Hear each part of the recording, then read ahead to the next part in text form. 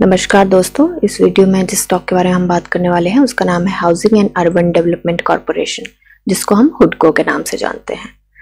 ये स्टॉक अभी 164 पे ट्रेड कर रहा है। 1.33 परसेंट का इसने डाउन मूव दिया है आ, कल।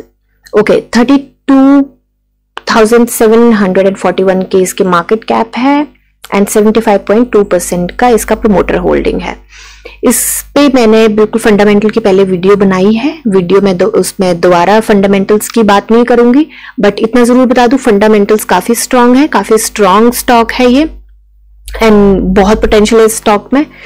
मोटी मोटी बात कर लेते हैं फंडामेंटल्स की वीडियो मैं प्लेलिस्ट में ऐड कर दूँगी आप वहाँ पे देख सकते हैं जाके। ओके okay, तो स्टॉक अभी 50 एंड 200 डीएमए से ऊपर ट्रेड करा है जो कि एक अच्छी बात है। इसकी पीई e की बात करें तो पीई मीडियम e से थोड़ी सी ऊपर है।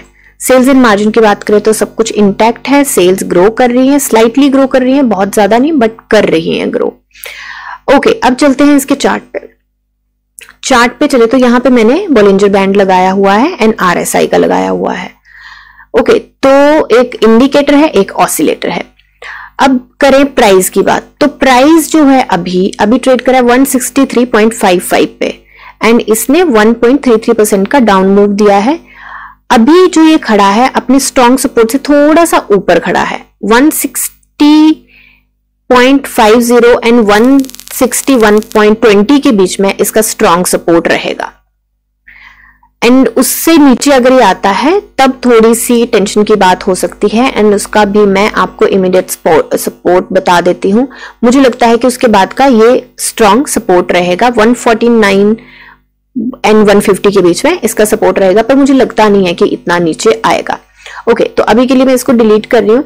इसके सपोर्ट तो अगर रेजिस्टेंस की बात करें तो ये ऑल टाइम हाई पे है अभी। अभी इसके रेजिस्टेंस आ सकते हैं तो ये ऑलरेडी अपने रेजिस्टेंस यहाँ से लेके आ चुका है। और मुझे लगता है कि कल ये आई मीन मंडे को ट्वेंटी नाइन्थ ऑफ़ जनवरी को मुझे लगता है कि अप मूव देगा और अच्छा खासा अप मूव देगा। उसके रीजन मैं आपको बता दूँ। सबसे पहले तो इसकी आर एस आई जिस दिन मार्केट गिरी थी तो आर एस आई उसकी वजह से नीचे गिर गई थी, काफ़ी हाई थी। आर एस आई हमारी चल रही थी 87.27 पे।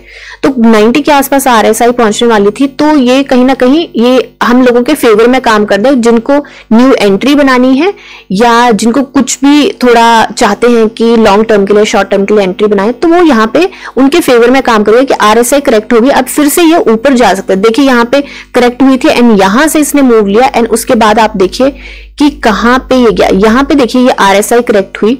और उसके बाद जो इसने मूव लिया यहाँ पे प्राइस 101 के आसपास और उसके बाद ये गया 115 के आसपास राइट तो यहाँ पे आरएसए करेक्ट होने के बाद आपको कितना अच्छा पंद्रह रुपए का आप मूव मिला है। तो यहाँ पे भी कहीं ना कहीं वही एक चीज़ हो रही है। आरएसए करेक्ट होकर ऊपर गया है।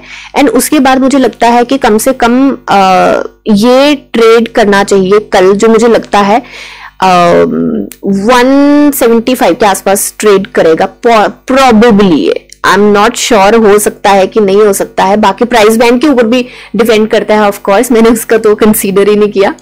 तो प्राइस बैंड ट्वेंटी परसेंट का है तो अगर ट्वेंटी परसेंट लेके चले ट्वेंटी परसेंट का तो अप मूव एकदम से देगा नहीं क्योंकि ऐसी कोई न्यूज़ भी नहीं आई है अभी।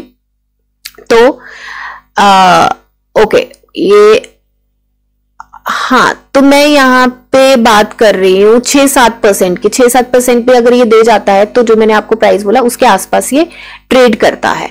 तो ठीक है, हो सकता है कि उस प्राइस के आसपास ट्रेड करे। दूसरी बात मुझे क्यों लगता है ऊपर जाएगा, क्योंकि यहाँ पे आर एस करेक्ट होके यहाँ पे ये अप मूव देगी, ये स्मूथ मूविंग एवरेज को कट अगर ये करने लगी थी और फिर नीचे आ गई, और अब कट करके अगर ऊपर जाती है तो काफ़ी अच्छे मूव देखने को मिल सकते हैं। Okay okay. एंड अब इसके सपोर्ट एंड रेजिस्टेंस हो गए तो फ्यूचर तो इसका ब्राइट है ही है। वो आपको भी पता है जिस सेक्टर में काम करता है, जिस तरीके की डेवलपमेंट हो रही है एंड जिस सेक्टर में यह है तो डेफिनेटली ये करेगा। अभी देख लेते हैं कि कोई न्यूज़ तो नहीं आई। अभी के लिए वीडियो में कुछ खास बोलने को है नहीं, कुछ बता नहीं सकते क्योंकि कोई न्यूज़ नहीं आई थी, कोई कुछ नहीं। तो हाँ जी, मैंने पहले भी देख लिया था वैसे, कोई न्यूज़ आई नहीं है अभी जिससे प्राइस पे कुछ अप या डाउन मूवमेंट का कुछ खासा फ़र्क पड़े। एंड इसके प्राइस बैंड की बात करें तो जैसे कि मैंने आपको बताया ट्वेंटी परसेंट का है। तो रेस्ट अभी कोई बाई सेल की रिकमेंडेशन नहीं है बट हाँ यहाँ पे फ्रेश एंट्री के चांसेस ज़रूर बनते हैं। तो बाकी अपनी एनालिसिस कीजिए, जो मैं हर एक वीडियो में बोलती हूँ, जानिए, समझिए, पढ़िए और फिर इन्वेस्ट करिए। थैंक यू एंड मिलते हैं नेक्स्ट वीडियो में। तब तक के लिए हैप्पी इन्वेस्टिंग